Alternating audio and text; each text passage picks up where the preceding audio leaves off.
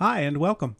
Oracle Content and Experience Cloud provides a simple way to create and manage your enterprise focused websites. When you first sign in, you see a list of all sites you have access to, the sites that you created yourself, and ones that other people have shared with you.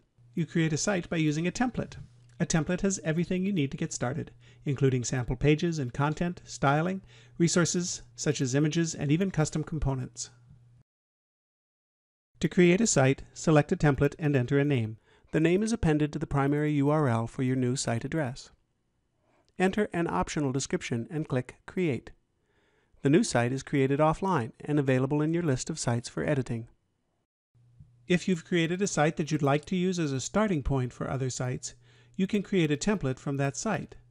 Select the site and click Create Template. Enter a name and an optional description and click Create Template. The template is created in your Templates folder. This method allows you to work with a layout and content that you've already tailored to your needs. If you want to edit the newly created site to add content and structure or make other changes, right-click the site and select your option from the menu.